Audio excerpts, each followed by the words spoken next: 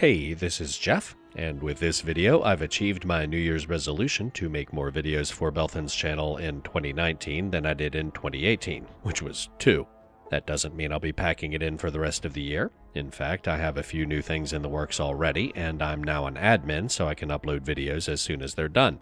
Today, I'm back on the Xbox 360 playing more Fallout New Vegas Ultimate Edition.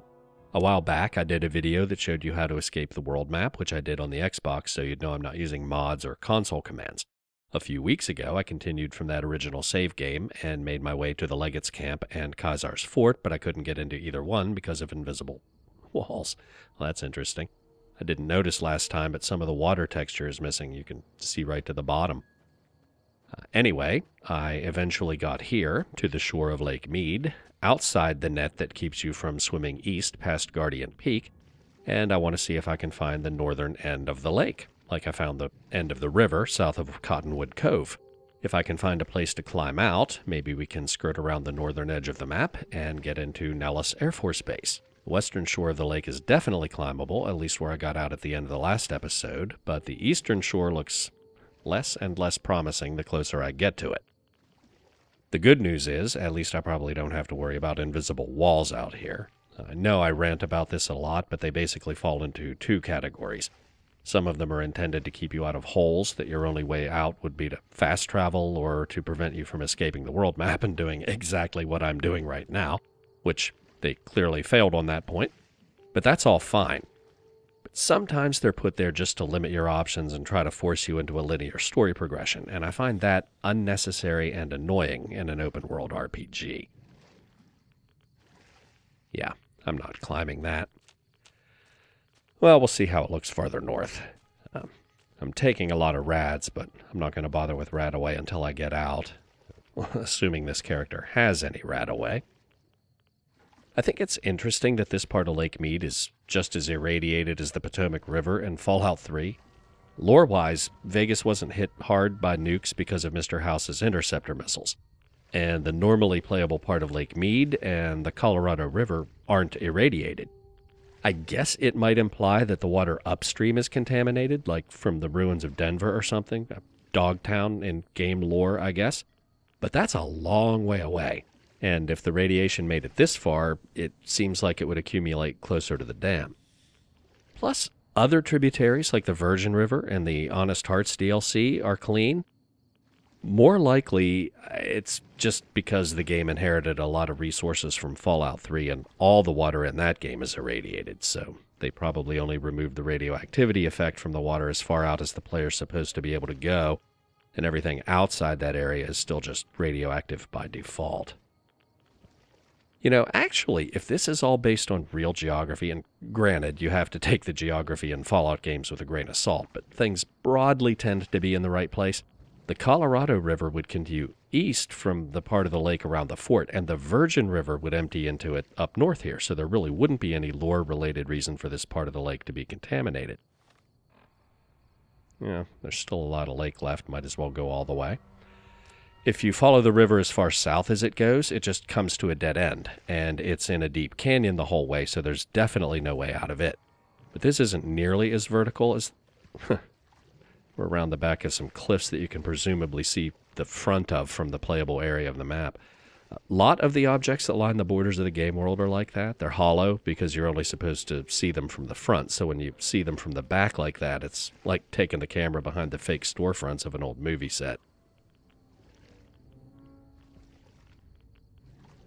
Except you can get stuck inside them if you're not careful, which isn't a problem. But, whoa! Well, that's interesting. Apparently, I'm still in water, but the game just isn't drawing it. dive! Dive! I don't think this character has a rebreather, but my oxygen isn't running out. It's like the game can't decide if I'm in water or not. Let's swim pretty close to the bottom just in case it suddenly decides I'm over land.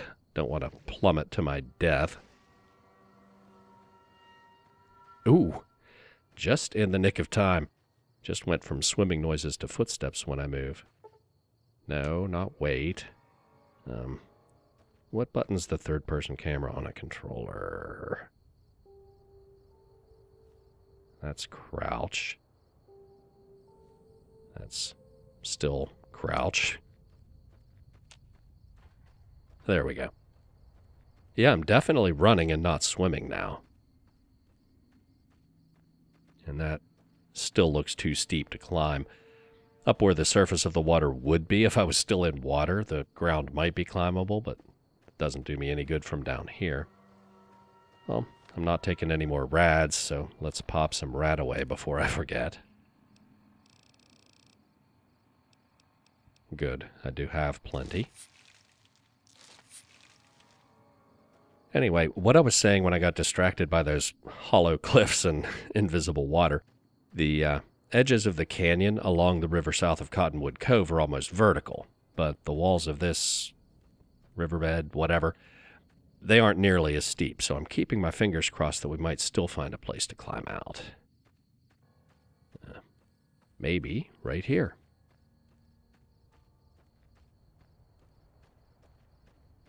There is a technique to climbing steep hills in Bethesda games, at least the Fallout games and Elder Scrolls games. Well, Oblivion and Skyrim, anyway. Morrowind is different. And I know New Vegas is technically Obsidian, not Bethesda, but it's the same physics engine. It's not a terribly sophisticated technique, but sometimes it takes a little more skill than just mashing the jump button. The game generally doesn't let you move forward or jump if the incline of what you're standing on is above a certain slope threshold, but it's pretty generous about letting you move side to side along that slope. And if you can find a spot where the slope is changing, especially around surfaces that are more convex than the rest of the landscape around it, like at the end of a hill, sometimes it'll let you get away with it if your timing with the jump button is just right. Yeah, like that. Ah. So close, and yet so far. Okay, well, even if I can't get out, I have a plan B. In the first episode, after I got out of the world map, I had to go way to the southeast to get around the end of the river. I was so far outside the playable area that the Pip-Boy map wouldn't even scroll to where I was. After I got around the river, I cut northwest again to get back on the world map and see the Deathclaw promontory from above, and then last episode, I found the Legate's camp and the fort, but we know the lake is shaped kind of like an inverted Y. We're in the north part. The west part goes south to the dam, and the fort is on kind of a peninsula surrounded on three sides by water. I don't know exactly what the shape of the lake is like east of the fort, but if we go south from there, we should eventually be able to turn east and go all the way around the outside of the lake above its eastern shore just like we did with the river south of Cottonwood Cove. And hope springs eternal, but I'm just going to keep heading north and see if we can find a more promising spot up there.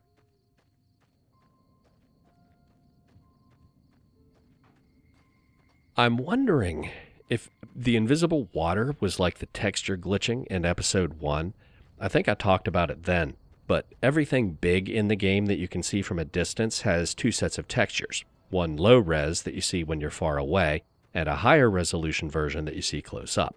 I'm not talking about the pop in you see with small things like items and characters, but like when you see a building in the distance that starts looking blurry as you approach it and then suddenly it gets clearer, that's when the game switches to the higher resolution textures. And that's not only true for large objects like buildings and cliffs, but also the raw landscape, the floor of the game world that we're walking on right now, and also makes up the hills and the mountains on the horizon.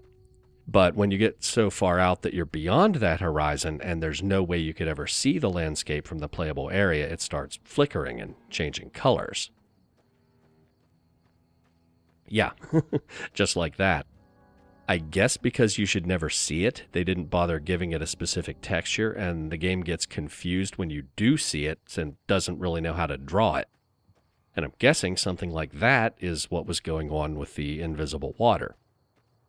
But I think we've reached the end, and it doesn't look like there's any way out. Um, gonna have to start over from my save all the way back at the dam, so I'm going to call it a day, and we'll try Plan B some other time.